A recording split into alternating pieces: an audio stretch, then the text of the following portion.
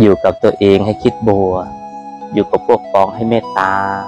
อยู่กับปัญหาให้ลงมือแก้ไข อยู่กับพ่อแม่ให้กตัญญูอยู่กับผู้รู้ให้ถ่อมตน อยู่กับทุกคนให้ทำความดี อยู่บนโลกใบนี้ต้องปล่อยวางนะคุณโยมนะคุณโยมหากคิดจะเป็นผู้ให้ จงให้อย่างเต็มใจ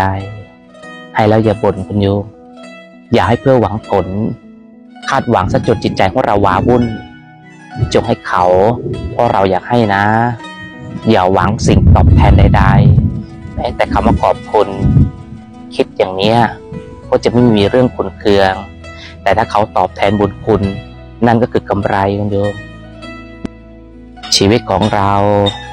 จะมีคุณค่าหรือเปล่า มันขึ้นอยู่กับการกระทำของเราเองคุณโยมไม่ได้ขึ้นอยู่กับคำสรรเสริญ หรือว่าคำนินทาของใครทั้งนั้น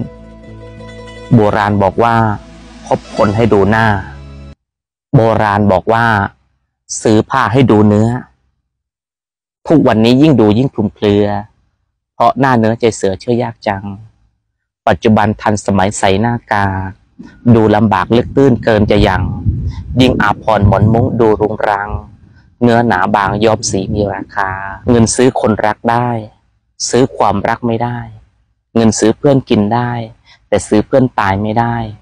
เงินซื้อความสุขได้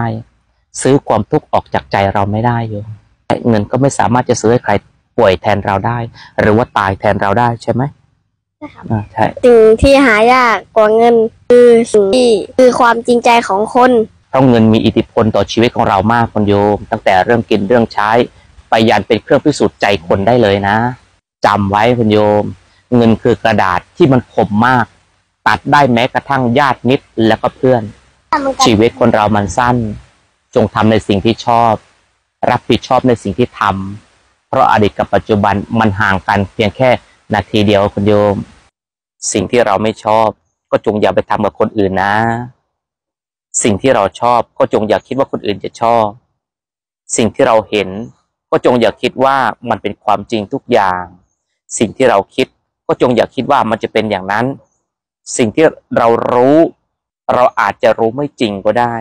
ไม่มีอะไรแน่นอน แล้วก็ไม่มีอะไรตายตัวนะคุณโยมนะ เพราะฉะนั้นจงอย่าคิดว่า ใครจะเหมือนกับเรา หรือว่าเราจะเหมือนใคร โยมถ้ามีคนหนึ่งเอาขอนไม้มาให้เรา แล้วก็มีทองมาให้เราโยมจะเลือกอะไรคุณโยม